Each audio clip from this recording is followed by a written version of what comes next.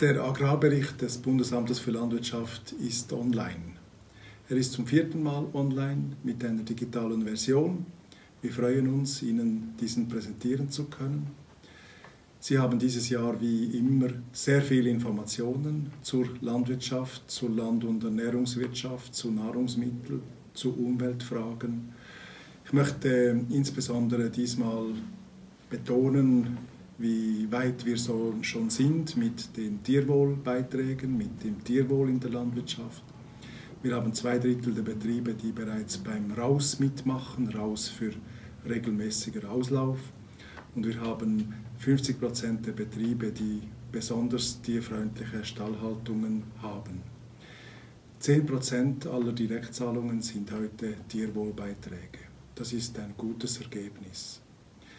Ein ebenso gutes Ergebnis haben wir bereits beim Aktionsplan Pflanzenschutzmittel Dort hat der Bundesrat vor einem Jahr, 2017, den Entscheid gefällt, Maßnahmen zu treffen, damit die Landwirtschaft ein geringeres Risiko für die Umwelt darstellt mit der Verwendung von Pflanzenbehandlungsmitteln.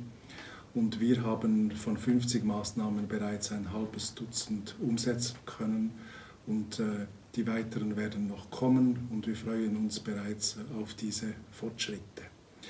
Der Agrarbericht können Sie mit jedem Laptop und dem iPhone oder dem iPad äh, anschauen. Das geht relativ äh, einfach. Nachdem Sie auf der Homepage des Bundesamtes äh, für Landwirtschaft die Stelle gefunden haben, haben Sie eine Auswahl von verschiedenen Kacheln oder von Themen. Ich nehme jetzt das Tierwohl und Sie können hier bei den Produktionssystembeiträgen die Seiten finden, die sich äh, damit äh, befassen. Und Sie sehen hier alle Angaben, die Sie vielleicht verwenden können für Ihre Information oder Ihre Arbeit, äh, können Sie hier finden.